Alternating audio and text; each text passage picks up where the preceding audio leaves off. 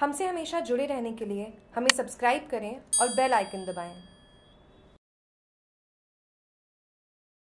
राजस्थान में इस बार परंपरा बदलेगी, बीजेपी की सरकार बनेगी मोदी प्रधानमंत्री नरेंद्र मोदी ने अजमेर में कहा कि पाँच साल के शासन के बाद पाई पाई का हिसाब देने के लिए जनता के बीच जाना कोई आसान काम नहीं है ये काम मुख्यमंत्री की हिम्मत का काम है उन्होंने कहा कि बीजेपी सर्वजन हिताय, सर्वजन सुखाय की नीति पर काम करने वाली पार्टी है। मोदी ने अपने संबोधन में मंच पर बैठे नेताओं और संगठन के पदाधिकारियों का नाम लिया। अपने संबोधन में मोदी ने चंबल से जुड़ी ईस्ट कनाल योजना को जल्द पूरा करने की घोषणा की। इस पर कहा कि ये परियोजना राजस्थान के तेरह जिलों के सिंचाई और पेयजल के लिए मील का पत्थर साबित होगा।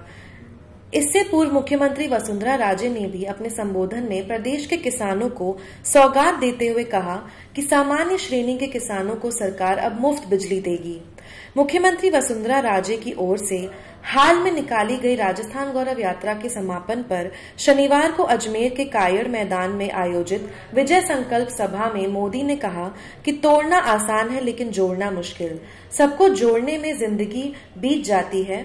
मोदी ने कहा कि बीजेपी वोट बैंक की राजनीति नहीं करती है। मोदी ने सर्जिकल स्ट्राइक पर चर्चा करते हुए कहा कि ये देश के वीर जवानों का बहुत बड़ा पराक्रम था, लेकिन कांग्रेस ने इसमें भी ओछी हरकतें की।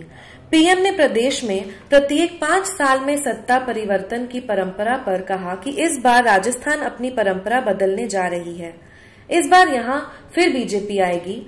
मोदी के संबोधन के अंतिम वक्त आंधी आ गई। इस पर पसर मोदी ने लोगों से आह्वान किया कि विजय की आंधी चल पड़ी है, धरती माता ने हमें आशीर्वाद दे दिया है।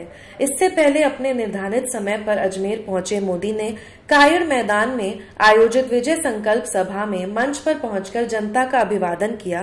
गौरव यात्रा के समापन पर आयोजित इस सभा को संबोधित कर मोदी ने बीजेपी के चुनाव अभियान का शंखनाद किया। आचार संहिता लगने से पहले अजमेर में आयोजित सभा में मोदी ने राजस्थान के नेताओं, पदाधिकारियों और कार्यकर्ताओं को जीत का मंत्र देते हुए कहा कि हर बूथ कमल बूथ, हर वोट कमल वोट की धारणा बनाकर चुनाव में जुट जाओ। उन्होंने कहा कि बूथ मज़बूत होगा तो बीजेपी मज़बूत होगी। प्रधानमंत्री मोदी ने अशोक गहलोत का नाम लिए बिना सभा में कहा कि राजस्थान कांग्रेस के एक नेता कभी सदन में जनता के लिए सवाल नहीं पूछ पाए, मगर अब चुनाव जीतने के लिए नए नए मुद्दे निकाल के लेके आ रहे हैं। मोदी ने गहलोत और सचिन पायलट दोनों पर तंज कसते हुए कहा कि राजस्थान कांग्रेस के नेता एक परिवार की आरती करने में लगे हैं, एक परिवार की परिक्रमा करने में लगे, उसके उल्टे बीजेपी का हाई कमान राजस्थान की साढ़े सात करोड़ जनता है। मोदी ने कांग्रेस को वोट की राजनीति के लिए देश की जनता को धर्म, जाति, क्षेत्र, समुदाय